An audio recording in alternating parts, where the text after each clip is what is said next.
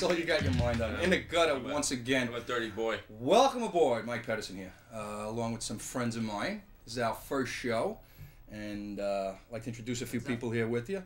Joe Cirruzzo here, Jumping Joe. jumping Joe Cirruzzo. He's going to be handling a lot of the sports aspect of it, and Brian Harrington, who's going to be working alongside of him for this first show. We don't know where we're going to stick him at the next show, but we'll get him in there someplace. And then we also have even Steven, who will be here a little bit later. He'll be handling our musical end of the program. Uh, what I'd like to start off with right now is uh, we finished the football playoffs today, and our wonderful sports prognosticator right here, Joe Cirruzzo, is going to come up with some words of wisdom about what's gone on this weekend in football, the surprising upsets that we've had with both Carolina and Jacksonville, and he's going to let us know who he feels is going to be winning in the postseason championship games. Have you seen Ignatz? Has anybody seen Ignatz? I don't know. Has anybody really seen Ignatz? Ignatz has been missing now for over a month and nobody has found him. I think we need to send out the, uh, the uh, FBI. FBI, possibly CIA, to look for Ignatz. All he does Well, is maybe call if me we and had ask more me than a we're going to five play cards. dollar uh, reward for him, we Have- might find him. Did you see the Carolina game today? No. I swore I saw Ignatz in the stands watching the Carolina Panthers beat up on Dallas. I don't know. It could have. It could have been a. Could have been a phony. You know, those guys wear masks. It possibly look like Ignatz. With I an don't head. Could have Well, been it an could Ignatz be- He hat. had an Ignatz head on. It didn't- Yeah, is it it, is a is, powerful is this, thing. am I sweating or somebody spitting on me? It's probably me. God. I have a very bad speech impediment. No. Speech impediment, Pettersson. Get Making fun of me again? no, not at all. I'm just making fun of disability, disabled people. Oh, what, what are we talking about? Let's let's get on the subject of sports. Well, All right, take, d- d- take the Dallas, ball, do- baby. do you Carry the think weight. this- Do you think the sex scandal had anything to do with Dallas losing today? I think it You has. think they shot their load? I I, th- I think they Before the might have because Michael Irvin disappeared for the rest of the game. I don't know what it was. I think she was in the stands watching him. I think maybe that uh, You What happened so? to she him was anyway? holding a plastic What gun happened? and she was doing one of these and he got nervous and ran. Because I got, uh, I was busy doing a few other things, and then I started watching the game, and they said Irvin was out of the game. What happened? I, I think he pulled the groin muscle. Oh. Yeah. Before or after the game? Oh, well- Before or during the game, I Well- should say. Well, during he was lining up behind Troy Aikman a lot and Yeah. That can be muscle troublesome. pull. That can be troublesome. So what's the lineup going to be for the Super Bowl then? This means uh, it's. Well- uh, I'll tell you, I, I believe New England uh, against Green Bay. you think so? You quote me on that. I'm telling you. Bet your house on it, your kids, your family, your grandmother, whatever you got to do, you do it. Do it. You just do it and get it done. And I think Green Bay is going to be victorious in the Super Bowl. How about them Rangers? Where's Ignatz? Has anybody seen Ignatz? It's probably at the Ranger He's game. probably at the Ranger Probably game. right to range again. Ranger game. Hey, why not? Uh, those boys are on a roll. I tell you, one of the best things Gretzky coming to New York. He man is a joy to watch. He Sure. is a joy to watch night after night. And so is his wife. so is his wife. And it only cost us the fans money, because I don't go anymore. Right. The season tickets, forget that. not paying these uh, overpaid athletes It's any more more. I'd comfortable sitting watch home and watching on cable. Exactly. It is. It's more. Hey. You don't get as drunk. Why Right, should then you can come, you can come and watch us That too. garden beer, I'm sure, cut at least three or four years off my lifespan. Our Think lifespan. Why should say. you pay seventy five dollars tickets so Patrick Ewing can call you a selfish fan? I Right. believe it's wrong. Mandatory. Bump them out. Do whatever you got to do. Give these guys like hundred dollars a game, and that's it. Back to the old days. That's right. I think Let them, let them work a regular Let 'em work job regular during job. during the off season, and then have to go out and you Go know. out and earn that damn salary. If we're gonna right, pay for it. We'll have some nice reasonable price Right. tickets. You know, six dollars, seven dollars a game. Pay two dollars for a beer. You know, reasonable prices. get True. get a ticket. Get a bring a child. Get a free beer. There you go. You know, That's right. Every kid you bring, you get a free beer. every goal Yeah. scored, get a shot. I mean, let's get serious here. I mean, no, let's get these guys Let's on get the the fans. It's Let's get the true. real You know, fans in there who- again, who, huh? Who is who is buying these tickets? It's, it really isn't the real fans. I mean, how many are corporate seats that they take off the taxes that they use just for entertaining? You know, these drunken slobs who come and probably never seen a hockey game or whatever, really don't appreciate it. You know, I mean, you know, the sport should be for the real fan. You know, it should not be priced. You know, out of out of there. I mean, it's like uh, uh, basketball games. You know, most of the people who go to basketball games are white. You know, but that's really predominantly black sport.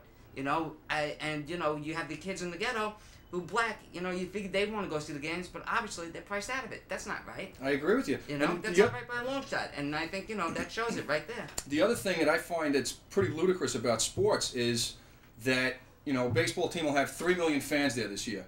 Right. Is there really three million people, different people that came to the game? How many people were repeat customers? Right. I mean, you may have three hundred thousand people that actually went to see all these games. Right. It wasn't three million. three million Okay. different people. Right. So when they oh, it was three million people. Wash that one right out. Right out. Wash it. I think it's unfair. I think we gotta get to the, the problem, solve it. It's it's just it's bad. It's Right. bad. Sports nowadays are bad. Paying a lot of money to see you know, these players perform. Myself, I can perform up to the same uh, you know same category as these guys. Pay me a month, you know hundred dollars. I'm going to play hockey. I'd love to see you go out there and get clocked by Ty Domi. Yeah, basically. Yeah. Hey, Ty, I'm telling you right. You want to drop the gloves? Come to my house. I'll tell you where I live. Call my friend right Joe. here, Mike Pettersson, the host of the show. Yeah. I'll take you on, do whatever I got to do. I mean, it's for money, it's for charity, whatever I, I got to do, because I'm that kind of guy. I'm not Well, selfish what I like to see now is uh, is everybody's uh, getting back into playing the sports themselves. Especially Yeah. the uh, uh, hockey has really risen with inline skates. The popularity has exploded. You get a lot more people playing. Um, I'm going out. I'm playing ice hockey. I know a lot of guys that like. Nobody cares to if go you're out. playing though. Oh, I care. the whole point of this is there are leagues out there for kids to play, and you don't have to even pay a lot of money to play.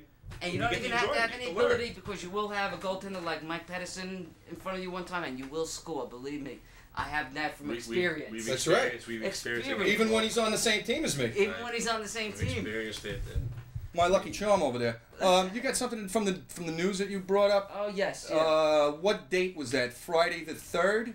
Friday, January third, Right. So at this point, that's actually about two weeks back. Uh, not quite. It's almost two weeks back. Right. But if you do have that edition of the news, uh, January third, it does go through a few things. Brian, you want to bring that up? Sure. Uh, this is a, a little article on adults playing hockey up at the Chelsea rink and Abe Stark rink. Uh, they say the uh, at the end of January, new leagues are starting up. Everybody and anybody is welcome to play. It doesn't matter your skill level. They will match you up to a scheme a team with skill level. Uh, there's a couple of numbers you want want to call Chelsea for the Chelsea Piers. It's 212-336-6100. Brooklyn's Abe Stark is 718-946-3135. Um, it costs about $190 for a 12 game uh, season. Like I said, they're- in Chelsea Piers, they have a special evaluation where you can match up and they put you on a team. Uh, it's extremely enjoyable. Uh, the facilities up there are wonderful. You know, they've done a beautiful job over there. There is parking, and Sorry- you meet sorry a interrupt. great Can bunch of guys. again? Sure. All right, Yes. thanks again. Yeah. I could have sworn it's really Ignatz with a helmet and a cage on. You think he's there? It's Could have been Ignatz, though, it? It could have been. It could have been Ignatz. I don't know. All I know is this Ignatz has been missing for months now. I can't find him. I'm really going crazy. Spending a Every lot now of and then he calls me up and says, "When are we playing cards?" You know, And that's all I ever hear from him. I'll when are tell we you. playing Oh, yeah, cards? yeah. it, it's all about gambling nowadays, You Mike. think maybe and, he killed his girlfriend? That's why he's hiding out. You Uh, remember he tried to murder her the night the Rangers won the cup. Oh yeah. Well, Well, witnesses. he threw her into me. He was witness. I think he was wearing Bruno Magli's shoes also Must that have been. night. now I can Must have die. You know what happens when you wear those shoes? Yeah. Ah, we Well, got a problem our- with that one. one of our main Yeah. programmers in the back room, you can't see right now. He wears those same type That's shoes. That's right. Uh oh. Beside Pumas and those Reeboks, those dollar ninety nine Yeah. Reeboks, you get the cheap shoes. All right. Well, I think we had enough of the sports little segment here. Uh, I'm going to get away from these uh, two handsome young Bozos. men here. Bozos. My Bozos. two young friends here. We're going to go to a little video by uh, a band called Brad Factor. The my next co-host, if you would, coming out, even Steven, who uh, happens to be a Brooklyn native. Uh, he's a bass player and a producer. He's also a songwriter. He's done some promoting in some clubs in the city. And uh, this is a tape of a band that he was in, as I said, called Brad Factor, a yuppie metal band, which uh, a lot of people who've seen him were very impressed by. Has anybody seen Ignatz? Uh, but Ignatz is not around. So why don't we just roll that tape and let's see where we go from here.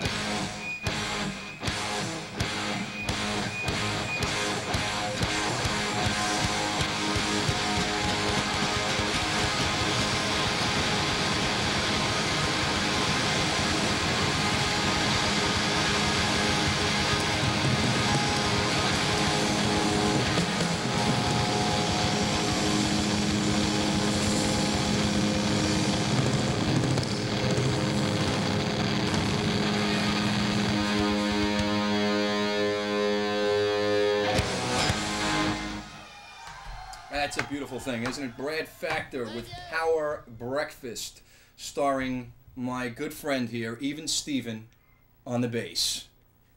Even, Thank you very much. You know, how are you today? I'm unbelievably great. I can't believe how good I am. It's it's hard to even put it to words, Mike. So then shut up. Okay, you know, I could shut up. I have things to review. I could just keep my mouth shut. I don't have to say anything about the Yeah, it's I know, I know. You're gonna carry on and carry on and carry on. But anyway, um, we got a few CDs here, some acts that Steven's worked with and Steven knows. Uh, I'd like to get just a touch on some of these so we have an idea of where we're going. If you've got any CDs, demo tapes, music videos, anything like that, send them to us. You'll see the address at the end of the show. Mark them to the attention of Even Steven, and he will get them. We'll look them over and we'll see what we can put together on our next show. Um, I've got here four CDs. Uh, the first one is Lex Gray. That's right, Lex Gray and the Urban Pioneers. Uh, tell me a little bit about these. Well, they're a Brooklyn-based band, and um, they perform live every Thursday night at the St. Mark's Bar down in the East Village on uh, St. Mark's Place in First Avenue. They also uh, will be playing on the 17th of uh, January at the Play Lounge in Queens in Maspeth. Now, this is one of the hardest working bands in New York. This is a band that defines defies, excuse me, defies the realm of what the, the actual scene is out there because they're so different. They're like the 60s, but they're like the 90s. And it's almost, well, you really have to see them to tell, to tell you the truth because it's not like anything else. It's, it's an acoustic vibe with, with great music and a wailing singer. Lex is just phenomenal. Um, and to tell you the truth, I wish she would let me back in her band, but you know, we'll get back to that at another time. Yeah. What else you got there? we got the uh, we got the fourth floor. We're all good people now. We're not on the fourth floor. If you'd like to go up to Jimmy's place and uh, Well, this is the third this. floor, but what you have there is actually the fourth floor. I see. They're another incredibly hard-working band. They're a party band. They they redefine the word party and what it means in a band. They have crowds and, and so many people that come in and they're part of the show. Um, I worked with them a while ago, and uh, again, I wish I could have been on that album. I I wish they would let me back in the band. Um, they just opened for Kiss for four nights in uh, Nassau up in Connecticut, and I think in Jersey. I'm not sure, and but we'll get back to them. So what you're telling me, in essence, is you played with these two people and they don't want to play with you anymore. Well, I don't know, but you see, what we're going to do in the future show is I'm going to be stalking my old bands. Oh, you want to try to get I together wanna- with them I again? I want to stalk these people. I want to try to get together with them again, collaborate on something, whatever. Um, a lot of people, I'm having a hard time getting them to answer the telephones. Um, they're sending mail back to me. Um, in fact, I think those letter bombs were intended for me. Unfortunate the that they sent them in the wrong to the wrong address. I don't know how that happened, but you know, this is the kind of luck I've been having. Well, that's the kind of luck that you deserve. Um, we got a band here called the Slash Tones, episode one. Well, this is a perfect example of exactly what I'm talking about. Um, not only will this, I can't get the band to play with me anymore, but they won't even finish the album. They won't finish They, the album. they won't finish the album. It's it's impossible to get everybody together at one time to to work. Uh, it's but we're going to explore this great phenomenon too because in the future shows, I'm going to be revealing to the public out there in Brooklyn. Don't reveal too much, all right? We may get arrested. you know, we won't we won't get arrested for this, but uh, you never know what will happen to me in my attempts to make contact with my past bands. Um, but I'm going to show what it's like to experience the rejection, the joy, the love, and the noise, and I hate to say this, but the smell of working rock bands. Oh yeah, well, I mean, there's a lot of places that uh, do smell, quite literally. And then we have Hetty. Now, Hetty, uh, another perfect example. We worked hard on this album for six months. We recorded it. Um, I haven't heard from her since. you know, I've given her my beeper number. I- I've tried in every possible way to get this girl to work with me again. But what what can I do? So basically, what you're saying is that you're stuck doing a stupid show like this with me because really I'm the only person that'll deal with you. at this point. Well, that's correct. I know we hadn't spoke for quite a number of years. In fact, uh, I figured you had lost my number. You were hoping that I lost your number. Well, Maybe I should have lost you your number. I you know I haven't been abused by anybody as I had been by you in the past, and I kind of looked forward to it. And um, lo and behold, here you called, and now I have a new place, a, a couch. Well, what does Hetty do? Hetty is a What kind of music is this?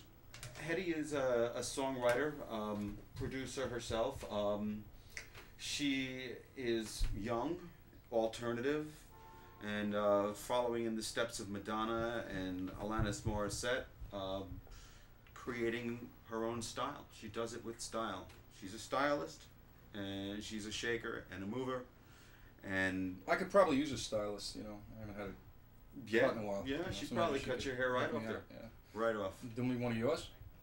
Uh, She did not uh, do my hair. No, I, Who did that? Lawn doctor? I um, I did it myself. I can tell. I know.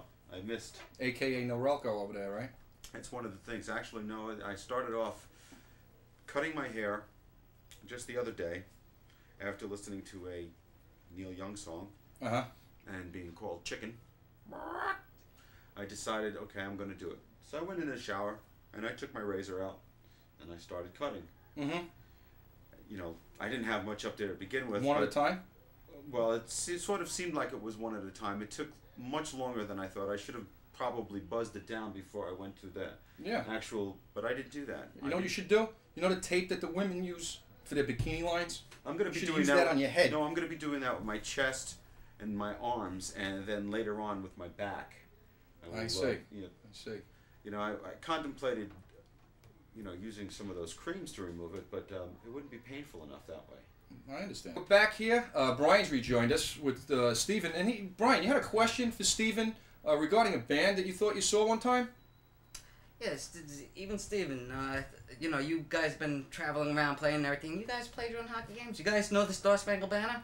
Uh, we've heard of the Star Spangled Banner. Um, we've been to hockey games. We love hockey games, but um, every time I try to bring the band in, I find out that we're not really scheduled. There's always a hassle of one sort or another. One sort or Uh, and what about guys running around with sticks? Does that scare you in any way?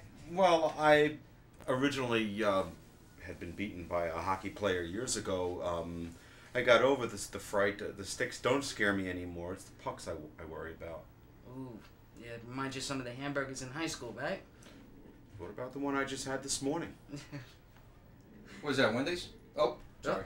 Uh oh, Uh, cut that. uh. Strike that. Screw it, leave it on. But um, you never saw a band that actually played while they were on skates? Oh, hold on, we got a phone call coming in. Hello, Hi, Mike. Michael. Hi, this is Mike. Michael. Mike Pettersson. Never heard of him. Hi, this is Jumpin' Joe Cirruzzo. I'm on location. I uh, think I've tracked down Ignatz. Oh yeah, where are you? Um, right now I'm in Buffalo by Niagara Falls. You're in Buffalo? I'm in Buffalo. Uh huh. I left your show and uh, unfortunately had to leave. Uh, believe me, I'm, I'm not too happy about it, but I had to go. I traveled down to Buffalo and I heard some uh, strange coincidences, things, that uh, Ignatz was floating in a barrel. He's floating in a barrel. He must have been disappointed that the Bills lost. Well, I don't know if that's Ignatz, but I'm on the trail. I'm just calling in to let you know. Uh, next, we're going out to Wyoming. I hear that he's going to be coming out of a buffalo. Uh, That's up here. You can't see it on the map, but I got Wyoming up here. You know, we got the rest of the West over here too. If, I, if I'm correct, that, that's probably a map of Arizona. Well, Arizona's on this side over here, babe. Oh, okay. We're going to be traveling down Arizona too, probably on Tuesday. Uh-huh. Uh, but I'm on Ignatz Trail. I'm just calling to let you know. If anybody's seen Ignatz, please call in or write to the show. Um, of course, probably to you if they see Ignatz.